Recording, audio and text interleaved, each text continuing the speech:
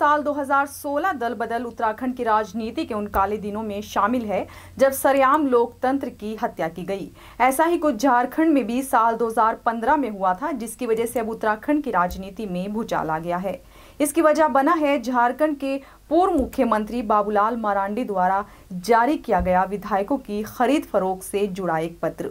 इस पत्र में उत्तराखंड के सीएम और बीजेपी के तत्कालीन झारखंड प्रदेश प्रभारी त्रिवेंद्र सिंह रावत का नाम शामिल है। बाबूलाल मरांडी ने इस पत्र को जारी करते हुए दावा किया है कि त्रिवेंद्र रावत के आदेश के बाद ही पैसे देकर विधायकों की खरीद हुई है।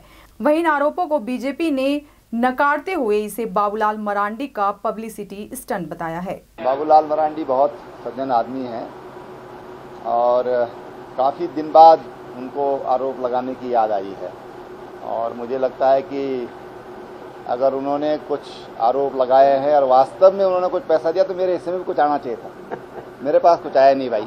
ये बात कही गई है कि झारखंड के अंदर विधायकों की खरीद फरोख्त हुई है और उस खरीद फरोख्त में जो है, इस प्रदेश के मुख्यमंत्री जी के नाम का भी उल्लेख किया गया है। बहुत गंभीर विषय है और यदि विधायकों की खरीद फरीख्त होती है तो निश्चित रूप से वो लोकतंत्र के लिए एक बहुत बड़ा खतरा है।